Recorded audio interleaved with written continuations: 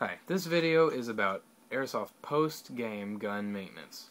And once you're finished playing, there are a few things that you need to do before storing your gun.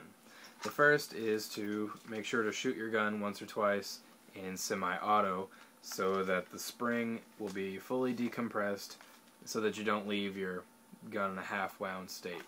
If you do, then that could affect the uh, tension of your spring, you could lose feet per second, and nobody really wants that. Second, remove your rail if you have an AK or however you do this for your gun, and disconnect your battery. That prevents corrosion in any of the electrical pieces, your connections, whatever, and it helps to extend the battery life. Third, as this gun needs a little bit, to release magazine tension, usually with a little spring right here,